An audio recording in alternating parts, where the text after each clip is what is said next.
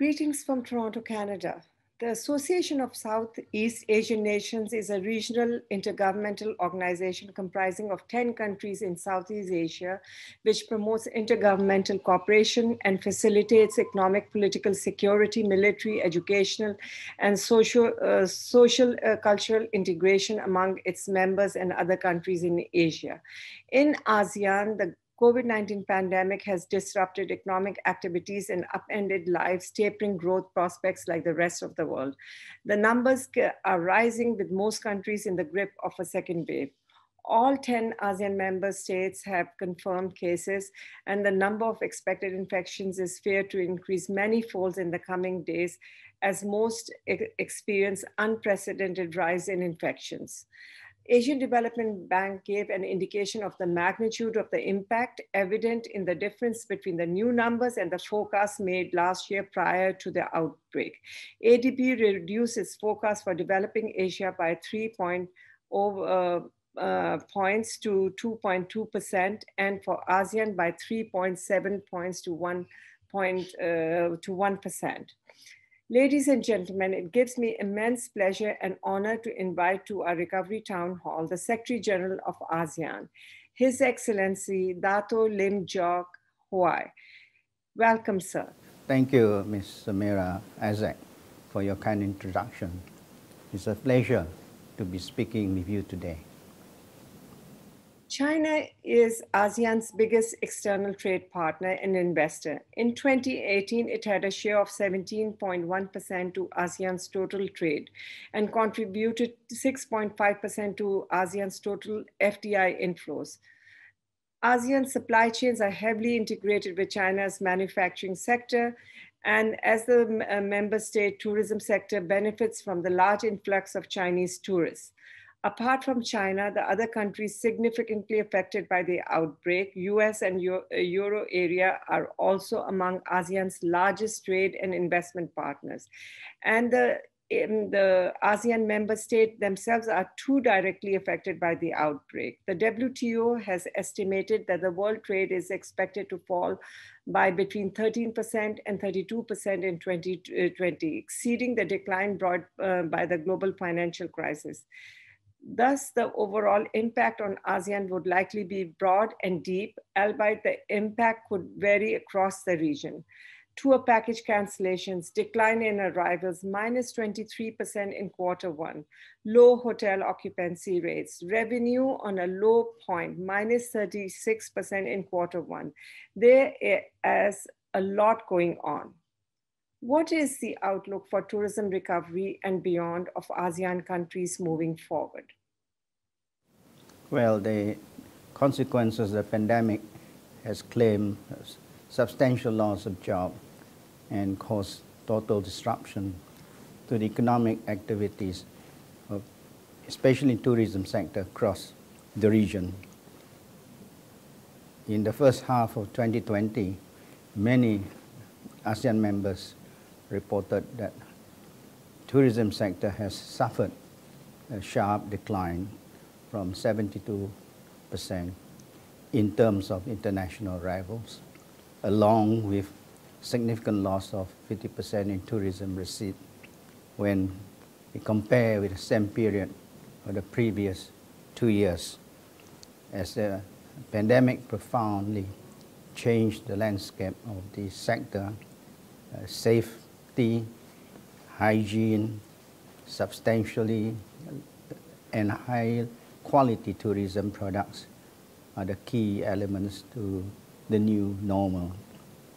Despite a tremendous efforts by ASEAN to shift its policy focus on measures on mitigating the impact of COVID-19 and adapting to the new normal the outlook for the industry 2020, 2021 remain uncertain. Tourism is, of course, a core sector of ASEAN economies. It represents around 15% of the GDP and 40% of the employment of the ASEAN community. Uh, for some countries like Cambodia and Thailand, uh, tourism has accounted for a larger share in GDP, employment, export revenue, as well as other to other ASEAN countries. In this uh, context, uh, the pace of recovery in travel, tourism, and hospitality industry well, very much determine elements of ASEAN overall uh, economic recovery with great potential for ASEAN tourism industry growth and relentless measure by ASEAN governments uh, to control the pandemic. It's believed that ASEAN tourism will bounce back as it has a long proven its inherent resilience during similar crisis during 2008 economic crisis and SARS outbreak in 2003. As infections uh, cases continue to rise around the world, the risk of an abrupt tightening of global uh, financing conditions also heightens. On the other hand, while developments in the health sector at times appear overwhelming, the broader impact is on households due to the widespread loss of employment excluding public service, 43.8% uh, of ASEAN workforce or uh, 126.9 million people are employed in the service sector. Singapore has the highest percentage of employees in services at 65%, followed by Malaysia at 56% and Brunei at 56% as well. However, in terms of absolute numbers, Indonesia has the largest number of workforce in the service sector with 57.5 million, followed by, by Vietnam with 19.4 million and Philippines with 16.3 million with such no, uh, high numbers in tourism sector and service sector, how is the association uh, responding to the current situation? I think during the early stage of the pandemic, ASEAN member states took immediate unprecedented measures to instill trust and confidence among businesses and consumer as a key strategy to prepare for a quick rebound and resilient recovery. These measures include the provision of financial stimulus uh, to the most vulnerable groups in tourism sectors, such as front employees and MSME, strengthening hygiene and sanitary measures leveraging on the use of technological, technological te technology and tackling fake or misleading information on social media, contact uh, to combat COVID-19, among others. Uh, the policy focus has also shifted towards uh, helping businesses survive the unpredictable situation uh, and also help them adapt to the new normal in ensuring sustainable and resilient recovery. At the regional level, I think there were also coordinated efforts among ASEAN member states in the tourism sectors. in February 2020, the ASEAN Tourism Crisis Communication Team was activated to monitor the situation and coordinate efforts to deliver accurate and timely travel advisories to tourists in the region on the ASEAN Travel Tourism website. In April this year, a special meeting of ASEAN tourism ministers on COVID-19 was held to discuss and endorse a number of collective action uh, to mitigate the impact of the disease and to prepare the groundwork for the reopening sectors once the pandemic has been brought under control. I think there, are, there were several key decisions that comes from the meeting. First, uh, ASEAN agree, ministers agreed to conduct an overall assessment of the impact of COVID-19 and a new dynamic of tourism industry post-COVID and to develop a comprehensive strategy to prepare, I think, for the substantial recovery and resilient growth of the ASEAN tourism sector. Second, I think ASEAN shall adopt uh, an harmonized set of regional guidelines uh, on new safety and hygiene protocols for travelers and, and tourism industry, applying digital technologies to upgrade the quality of tourism services. Third, I think uh, promoting digital tourism is uh, regarded as a long-term solution for ASEAN. And fourth, the minister agreed to explore new initiatives such as uh, reskilling and upskilling tourism professional program, regional framework to facilitate the uh, so-called travel bubbles for tourists, travelers um, among the low-risk areas or countries and applying international best practices and a lesson to revitalize the tourism industry. Across the region, the ASEAN member states have rolled out various measures to counter the impact of the pandemic. Stimulus measures include, among others, tax breaks, subsidies, including targeted support and cash assistance, moratoriums on loan payments, and pension contributions. Central banks uh, in all of the countries have lowered interest rates, reduced reserve requirements, and purchased government bonds. Is the organization helping the regional tourism industry with any financial incentives, waivers, etc.? Could you please elaborate on it? Uh, yes, uh, most countries uh, uh taken macroeconomic measures uh, such as financial incentive and also waiver uh, given and implemented by ASEAN member state at the national level depending on the various solutions, situation, available resources and capacity of each countries.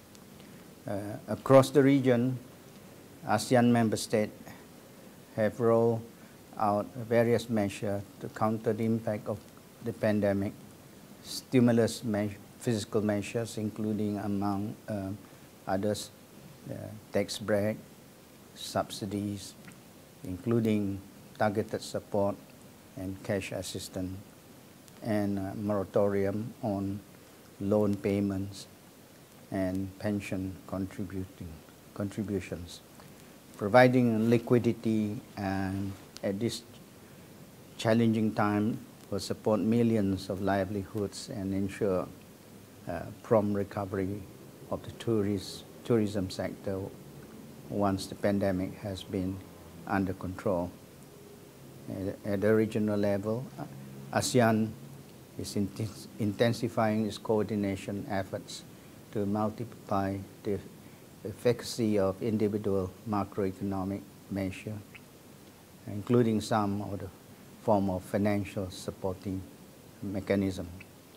ASEAN also have been collaborating with its partners on cooperation to counter the spread of COVID-19 pandemic. Specifically in the financial cooperation, ASEAN plus three uh, countries have been working on strengthening in Chiang Mai initiative, multilateralization, uh, multi-currency swap arrangement established to provide short-term liquidity to members in times of need and ensure uh, its operational uh, readiness. Special ASEAN plus three finance and central banks uh, deputies meeting was held throughout video conferencing last April when the deputies exchanged views on the financial uh, measure undertaken to mitigate the economic impact of the outbreak and also agree uh, to strengthen coordination at the regional level coronavirus disease um, uh, pandemic outbreak has severely impacted the health uh, and well-being and safety of the ASEAN community. And, and it continues to pose imminent and unprecedented threats to regional and global economic growth and social development. Are you launching any further reports and protocols? Can you elaborate on this? What kind of coordination uh, are you uh, implementing with your member states? Uh, tourism uh, sector is a very much a labor intensive in nature and the main source of employment for many households in local communities, especially remote area. Uh, for that reason, revitalizing the tourism sector is key for ASEAN. In responding to the pandemic, ASEAN tourism officials are working out a series of ASEAN protocol standard and guidelines on security and health factors for protecting employees, communities, and other tourism-related establishments. Uh, once it's completed, ASEAN member states shall align their domestic regulations and practices in the new protocols and standards. Uh, the new protocol uh, are crucial and integral part of the recovery plan as uh, they would establish ASEAN-wide safe tourism packages for both, I think, travelers and employees, as well as local community working throughout the supply chain in tourism industry. Notably, travel and tourism contributed 12.6% to ASEAN's economy in 2018. Among the, the member states, Cambodia, Philippines and Thailand are the most vulnerable. They have the largest shares of GDP, employment, and export revenues from tourism. The pandemic may lead to long-term and uh, economic implications. To restore confidence and to revive the economy, what are the commercial strategies, policies you envision that will be successful once the countries allow international tourism? Uh, there are many ways uh, that ASEAN tourism strategy direction is shifting. I think the first, the issue of privacy and security, safety, uh, wellness, and sustainability uh, would be a major factor for consideration by most international travelers as they decide uh, to visit a place or country in the region. Taking this uh, into account, ASEAN has included these elements within the ASEAN tourism marketing strategy for 2021 to 2025. I think to ensure that we are able to cater these changes in consumer behavior and preferences. Second, I think individually tailor-made tourism products as well as small tour group packages uh, will define the new trend of tourism coming for coming years. Travelers uh, are shifting their focus on a less visited destination to avoid uh, packed places. Uh, this then raises opportunity for natural rural area, especially natural landscape, to be to become a, a go-to option for uh, travelers. Third, the pandemic has also been a catalyst for digital transformation, especially in tourism sector. Digital technologies profoundly uh, transforming how tourism businesses operate, as well as uh, how tourism travelers interact. The use of uh, tech digital technologies can help businesses to reach out more customer, increase efficiency, and unlock new tourism potential um, by linking different stakeholders throughout the supply chain. In terms of marketing, uh, digitalization continue to transform uh, the way we market ASEAN as that it has increased our ability to understand customer behavior. This uh, present, I think, us with uh, opportunity to personalize uh, seamless and new experiences for travelers. Uh, digital marketing will continue to gain strength as well as generate high return on investment if the objective are clear. And finally, promoting Southeast Asia as a quality single des tourism destination is an advantage for the region uh, tourism businesses models might need to adapt to hybrid engagement by combating physical and virtual offer related to the business and leisure event, attraction, and others. Uh, more coordinated initiative in promoting the mutual ecosystem of ASEAN tourism growth remains a real commercial value and interest for both business and international travelers. Uh, it is also uh, important to highlight that by 2030, tourism industry would need to come to term with evolving uh, visitors,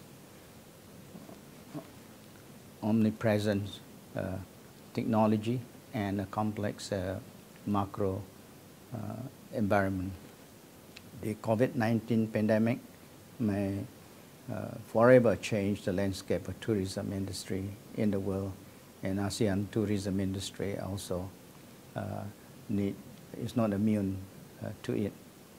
Um, it requires ASEAN to further our enhanced regional cooperation as a means to effectively transform the industry by adopting new trends and a new reality. As virus spread rapidly in China, most uh, of your member uh, states restricted travel from to China, which was then expanded to other affected countries such as Japan and Korea. By canceling flights and connections and tightening of uh, even closing border crossings, the immediate and uh, direct impact was thus um, far and wide with most borders closed, do you believe domestic tourism will be the key segment for ASEAN countries in the short term? And what uh, are the countries doing for the implementation and promotion? Um, during the second quarter 2020, uh, the UN WTO reported for the first time ever that 100% of global destination has introduced travel restriction as a result, international tourism has largely been suspended and domestic tourism curtailed by a lockdown condition imposed in many countries.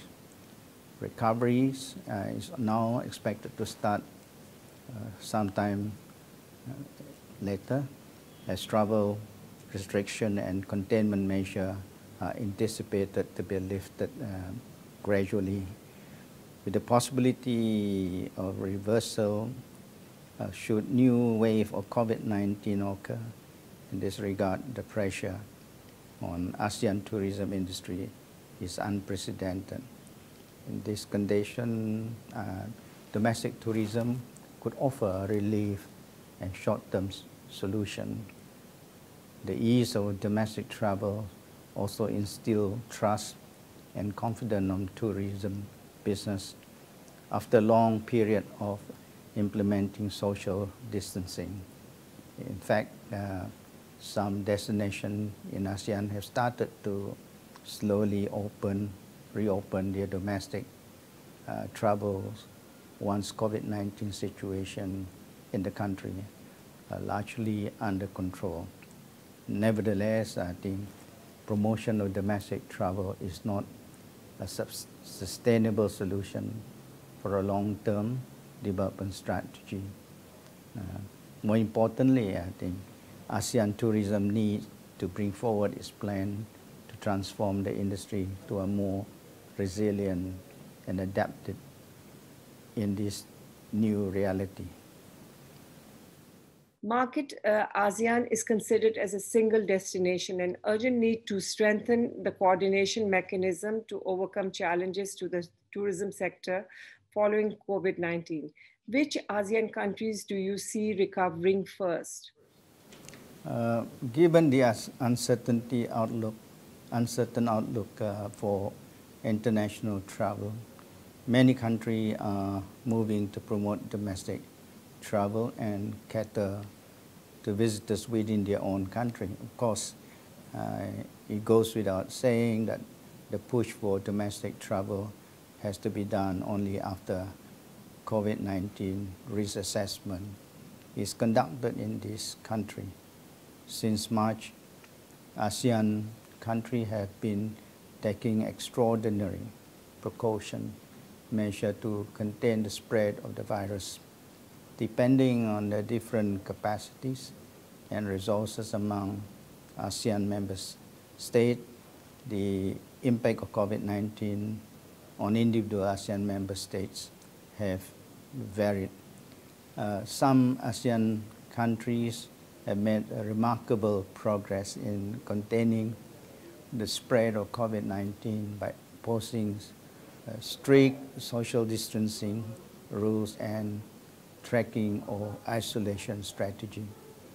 In these uh, countries, we observe high degree of success in the reopening of the uh, tourism sector. However, it's just a beginning of a long-term road to recovery as uh, ASEAN tourism sector is highly interconnected and that no single ASEAN country can reopen alone. ASEAN countries are collectively expediting the development of a comprehensive regional plan for sustainable recovery and resilient growth in the ASEAN tourism industry post-pandemic. The regional plan uh, for recovery is scheduled to be endorsed by the ASEAN tourism minister in the first uh, quarter of the 2021. Every crisis creates opportunities. What are the opportunities that will arise from the current situation brought for ASEAN uh, region?